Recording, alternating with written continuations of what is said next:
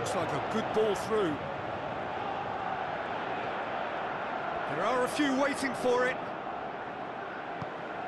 Up for the header! It's in!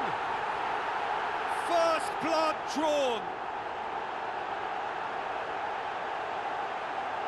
One sweeping move, executed with deadly efficiency. Look, if you want to be effective on the break, then the key element is always pace. That's what really rips defences apart, and it's difficult to find an answer to it when it's applied like that.